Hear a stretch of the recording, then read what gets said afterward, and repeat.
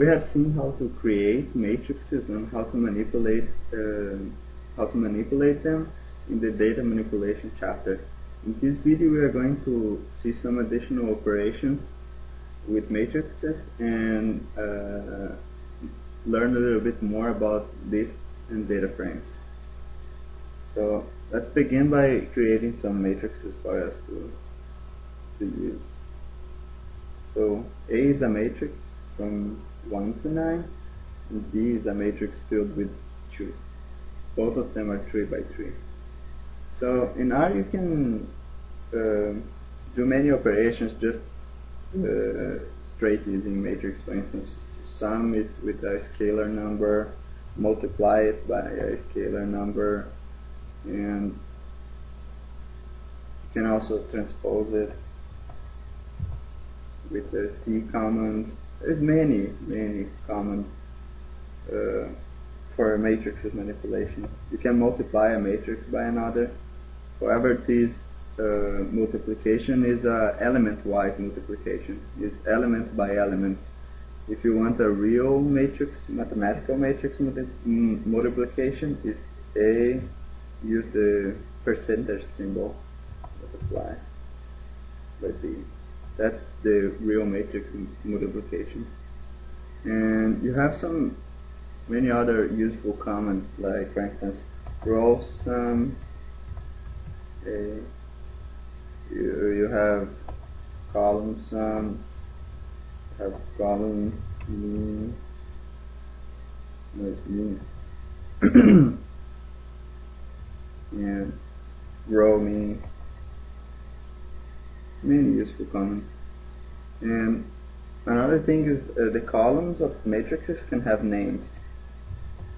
You can use the colnames uh, command to discover the names of them. Actually, in this matrix it's null because it was not set. But then you, you can set the name, for instance, like that.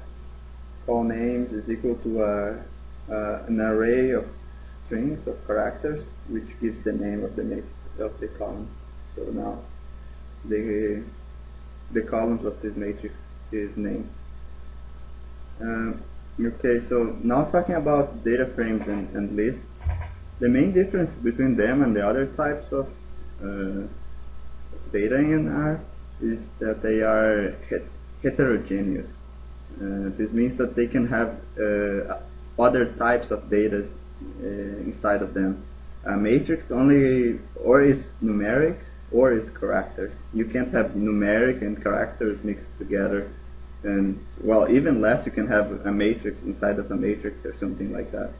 But with data frames and lists, you can, for instance, let me just convert these both matrices to data frames by using the data frame command. And now I'm going to create a list containing, using the list command, I'm, assigning it to C, containing the matrix A and the matrix B.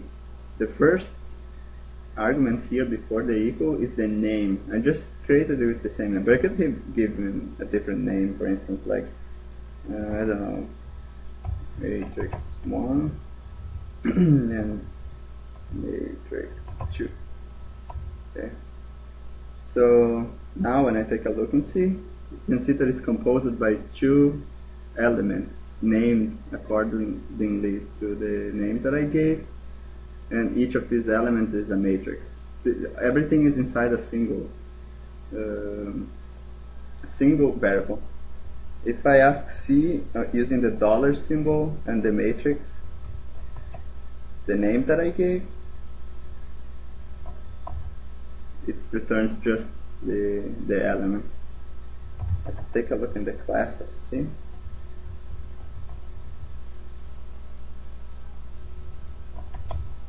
It's a list. Uh, another way to select elements in a list is using double uh, brackets. You see the first element in the second element. And the lists are very useful in functions because we are going to see in the next class that functions can only return a single uh, variable. It's the way that functions are designed. But we can kind of trick the system by returning a list containing many elements inside of it. It is still technically just one element, but containing many elements inside of it. Uh, let's take a, a look in the structure of C. You see here is a list composed of two elements. Both these elements are matrices. Uh, no, are called matrices, and they are data frames with three variables. Here we can see the details of each of them. And uh, data frames are similar to lists, but they are bidimensional. Bidimensional, and however, uh, care should be taken uh, when dealing with lists and data frames. Like it said in the Spider-Man movie, movie. Uh, big powers come with big responsibilities. Uh, all this flexibility uh, comes with a computational cost with it.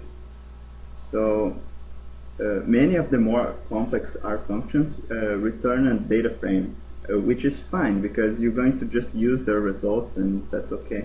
But when you like going doing heavy calculations or heavy processing, it, you need to be careful when using data frames because the cost, uh, the computational cost of dealing with data frames is uh, exponential in most of the cases. So as long as you don't select them too frequently, for instance, inside, inside of a looping stru structure, selecting I mean like for instance, I want just this element from the from the data frame. Uh, it should be fine. Um, also, uh, we, we have seen the rbind and the cbind command. Both of them have uh, exponential cost. So, just to, to have an idea, yeah, um, I, I, I'm, I'm still going to show the how the for command works. It creates a looping structure. But here what I'm doing is I'm, I'm repeating uh, a million, uh, billion times uh, an rbind command of A with itself. Okay, so you can see how the cost increases exponentially. See, each time each number gets exponentially more difficult for the system. So I'm going to cancel it because it's never going to finish.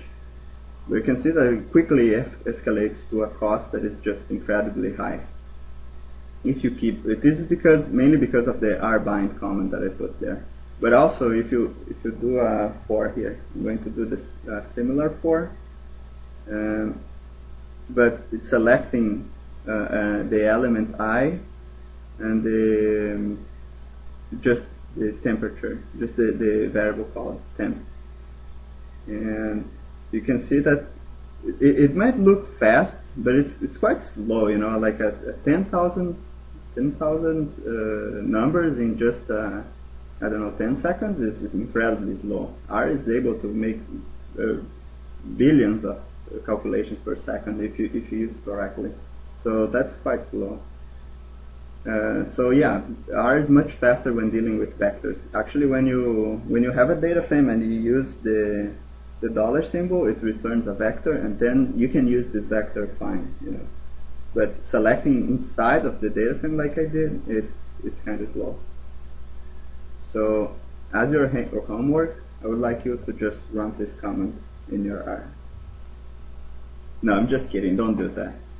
this comment, uh, it, you can see that here the rep comment in the first uh, lecture of programming, we learned that it creates a repetition of the next element, the, the first element. So I asked for a a vector of a thousand numbers and asked it to repeat this uh, 9 million times. And what will happen is that this comment will quickly fill the the memory of your computer and will make it freeze before you can even save your work. So you can use this to maybe prank someone that you don't like or something like that. Just ask him like, oh, can you run this command please? It's not working. no, maybe you shouldn't do that, but it, it's interesting to see how how it these comments run so fast that you can't even react. It will fill the memory of the computer and you can't even uh, block the process. So if, if you want to try it just to see, first save everything that you have. So yeah, th this class doesn't have a homework. And I'm going to give a homework in the next one. So see you there.